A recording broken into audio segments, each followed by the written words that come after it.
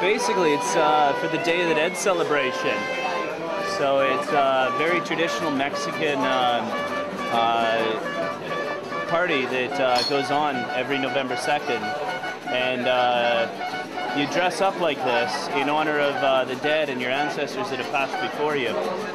So the whole idea is that um, with Ocho Tequila, tonight we're uh, we're honoring Day of the Dead. We have a special edition Ocho Tequila bottle that's out, and uh, yeah, we're all we're all dressing up like skeletons, and uh, we'll uh, get partying right away.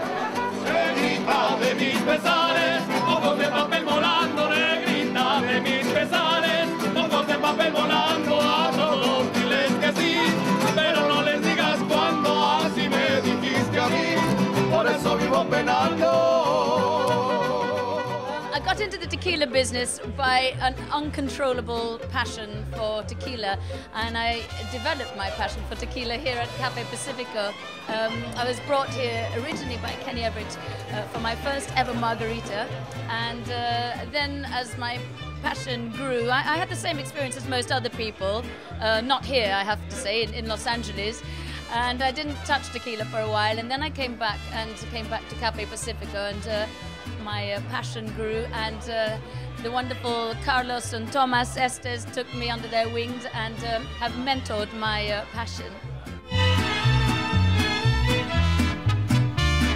So I'm here in the kitchen of uh, Cafe Pacifico, and I've managed to uh, track Jesse Estes down at the uh, party that's going on inside. Um, and I'm just going to have a quick chat with him about uh, what makes Ocho Limited Edition uh, Ocho Limited Edition. What uh, we're doing with Ocho is doing a um, single field vintage tequila. It's the first ever tequila that's done that. So what it's doing basically is exploring the idea of terroir, like with wine, Yes. uh, in agave, which is, you know, instead of grapes, agave for tequila. And what we're finding is that every field, while similar, it's all produced the same. While similar, they're also distinctly different. I love everything about Ocho Tequila. Ocho Tequila, it, it's got, uh, uh, you know you're drinking tequila. It's a, a, beautiful, fabulous flavor, and you can taste the sunshine, you can taste the earth, you can taste the minerals, but it's all wrapped in the most fabulous abundance of exquisite flavor. And once you have an Ocho, it's very, very difficult to want to drink much else. Now, with this, I know this one is 2010 and it says Los Mangos. Uh, I'm just wondering if you can kind of uh, tell us a little bit about what that means. Well, Los Mangos is um, named so because uh, it used to be a mango orchard um, before agaves were planted there. So, and ironically enough, the tequila itself is incredibly fruity. Uh, tropical fruits, caramelized pineapple, uh, banana, mango even, uh, touch of spearmint, a nice light herbaceousness to it.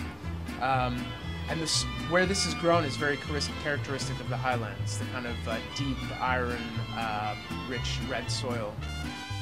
I also went to uh, Mexico and I went to see the Camarena brothers who make uh, ocho to see how it was all made. And when you see the love and passion that goes into this tequila, uh, you drink it and you become it. I, I love the new. I've never seen such happier looking little dead guys. this is Ocho, dead or alive, it's happy. And I, I, love the fact that these little dead guys look so happy. And, um, and they're still partying, which I think we all will be if we keep drinking Ocho. With regards of Day of the Dead, uh, it's a celebration that has always been um, done in within the Catholic calendar, if you like. Um, being a more than 500 years since uh, the Spanish conquer uh, or discovered Latin America, um, it has always been uh, a religion that has grown and grown and grown in Latin America. Day of the Dead is a way of looking at uh, a celebration of uh, the people that were with us at some point and are no longer with us anymore.